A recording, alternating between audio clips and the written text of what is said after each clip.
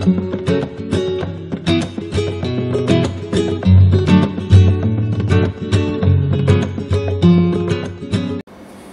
हूँ आपका दोस्त एडवोकेट सुबोध गुप्ता।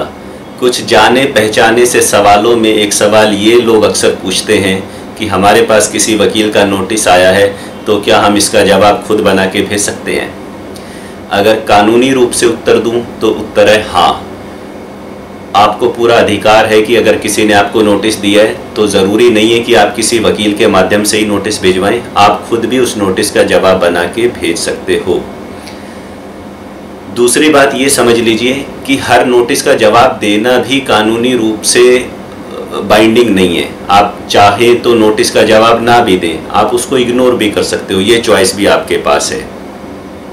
अब मुख्य बात यह है कि जवाब दें या ना दें तो देखना पड़ेगा कि वो जो नोटिस है, उसकी प्रकृति क्या है, उसकी नेचर क्या है, उसका कंटेंट क्या है, उसमें क्या लिखा गया है मैटर कितना सीरियस है।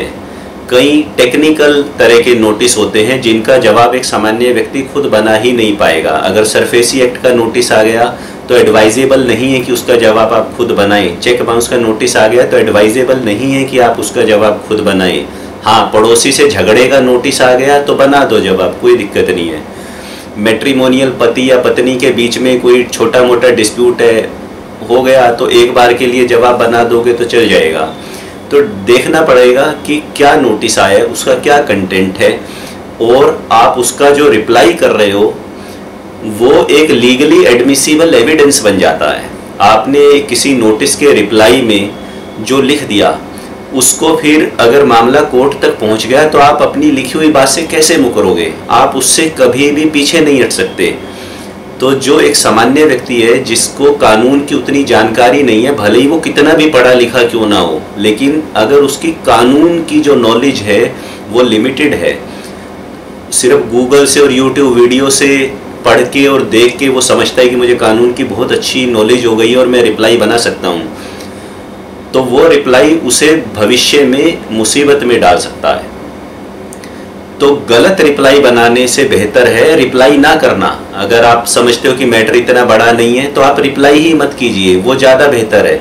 क्योंकि अगर आप रिप्लाई नहीं करोगे तो हद से हद क्या होगा? वो व्यक्ति कोर्ट में चला जाएगा, जाने दो उसको कोर्ट में। कोर्ट में जाएगा, अगर कोर्ट पे आपके ऊपर केस करेगा, तब भी हम सेटलमेंट की बात कर सकते हैं, तब भी आप अपने वकील साहब के पास जा सकते हो, और वो उनका प्रॉपर जवाब दे सकते हैं। लेकिन अगर आपने गलत रिप्लाई बना रखे होंगे और फिर आप अपने एडवोकेट के पास जाएँगे तो आपने पहले ही कहानी इतनी ख़राब कर रखी है कि आपकी लिखी हुई बातों को झूठला पाना या उन फैक्ट्स को लीगली सही तरीके से कोर्ट में प्रेजेंट कर पाना आपको डिफेंड करने के लिए, वो आपके काउंसल आपके एडवोकेट के लिए एक बहुत चैलेंजिंग टास्क हो जाता है। इसलिए नोटिस का रिप्लाई करना है या नहीं करना है खुद यह निर्णय बड़ी सोच समझ के लेना चाहिए।